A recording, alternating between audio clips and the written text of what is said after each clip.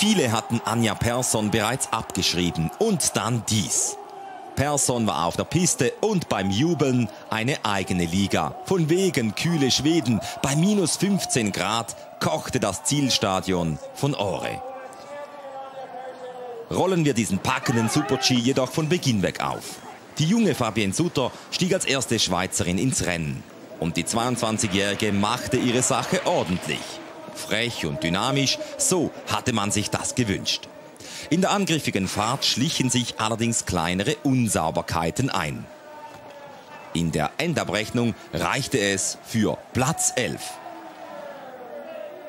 Ich habe auf jeden Fall etwas probiert. Es sind leider zwei, drei Fehler drin gekommen, aber eben, wenn man etwas wagt, kann es halt passieren. Sutter war damit schneller als ihre Teamkolleginnen Schild und auf den Platten, die mit den Rängen 12 und 19 wohl auch ihre eigenen Erwartungen nicht ganz erfüllen konnten. So blieb als Schweizer Medaillenhoffnung noch Nadja Stieger. Ihre Formkurve zeigte zuletzt nach oben, ihre Fahrt war gut, ihre Zwischenzeiten waren es auch. Trotzdem sollte es nicht für einen Podestplatz reichen. Vielleicht fehlte nach dem bisherigen Saisonverlauf mit viel Auf und Ab die letzte Sicherheit.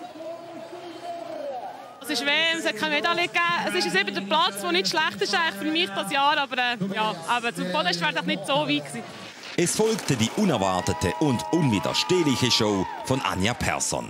Im letzten Frühjahr hatte sie ihr Knie operieren lassen müssen. Das Resultat war eine bis anhin durchzogene Saison.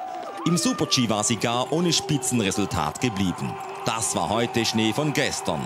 Kurz vor der WM hatte sie sich eine Auszeit vom Weltcup-Stress gegönnt. Die Rechnung ging auf.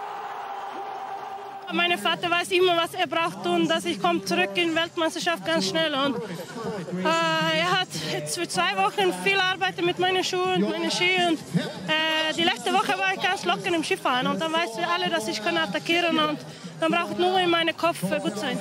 Etwas zittern musste Person allerdings schon. Lindsay Kildo und Renate Götschel, die meistgenannten Favoritinnen, heizten der Schwedin noch gehörig ein. Kildo hatte den letzten Super-G vor der Weltmeisterschaft gewonnen. Jetzt reichte es nicht ganz. Immerhin, die Amerikanerin sicherte sich ihre erste WM-Medaille. Die hatte zu diesem Zeitpunkt auch Anja Persson auf sicher. Was für eine Rückkehr. Anja Superstar wurde von Mutter Madeleine innigst geherzt.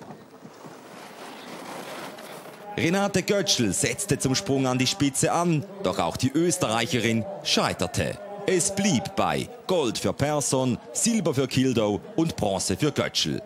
Die Schweizerinnen zeigten eine ansprechende Leistung, aber in der Endabrechnung überstrahlte das Golden Girl aus Schweden alle anderen.